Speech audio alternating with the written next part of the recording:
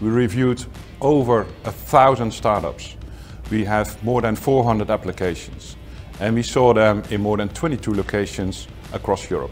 We really see if they got the stamina, the will and the energy to make it to the program. It's the first time that we do this at PwC headquarters, our long-standing partner. We work with them intensively because they also facilitate, help us to make the program a big success. Startup collaboration for a company like PwC is very important. Um, these startups operate at the heart of strategic challenges and uh, we see that with the speed that these companies innovate, um, they are able to bring solutions to the table that maybe a company like ours on our own would not be able to do, but we're very strong in combination because we have a skill set and the startup has a skill set and together we can bring this stuff uh, to our clients. Our biggest takeaway I think here is joining a professional network um, because often the startups, as entrepreneurs, you're in your own little startup bubble.